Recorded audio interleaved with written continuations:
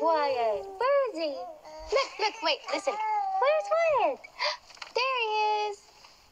Look, look. Uh-huh. Look. Where's Wyatt? Where's Wyatt? There he is. All right.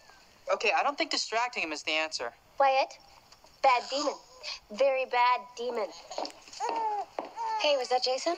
No, that was my raison d'etre. Pardon? That was Darryl. I've been wondering why the temp agency hasn't called, and now I know why. I needed to be free to help him. To do what? Well, to save an innocent, why else would he have called? And more importantly, why else would I have been the one to answer the phone? Because you were the closest to it? No, because it's my reason for being. Call me if you need help. What, you're just gonna let her go? You're welcome to try and stop her. You know, I should go talk to Jason. And her too. Wait, stop. Where are you going?